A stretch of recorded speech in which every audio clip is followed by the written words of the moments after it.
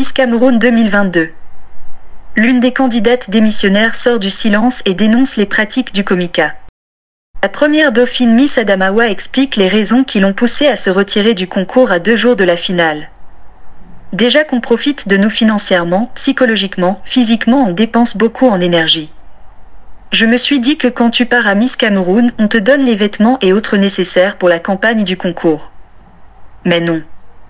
On nous a plutôt sorti une liste des choses à acheter avec nos propres moyens et on l'a fait.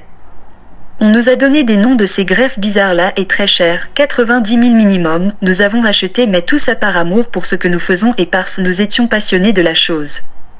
Pour nous c'est non seulement une passion mais aussi un rêve.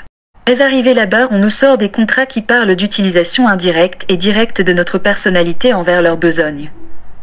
Et aussi il est indiqué que nous devons leur appartenir pendant une durée de trois ans pendant lequel sur tous nos contrats après le concours, ils auront un pourcentage de 60% tandis que nous avons 40% pendant trois bonnes années. Pourtant leur mandat n'est que pour les gagnantes et ce n'est que sur un an. Mais ils veulent que même les perdantes leur appartiennent et travaillent pour eux durant trois ans.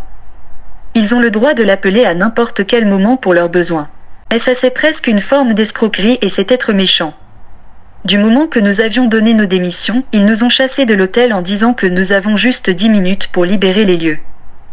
Même déjeuner après ça, nous n'avions plus eu ce droit, c'est comme si nous étions devenus des animaux, vu le traitement.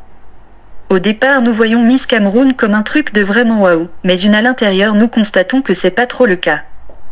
Comment un enfant peut avoir son rêve, le nourrit mais vient plutôt constater qu'on veut profiter d'elle? Mais non.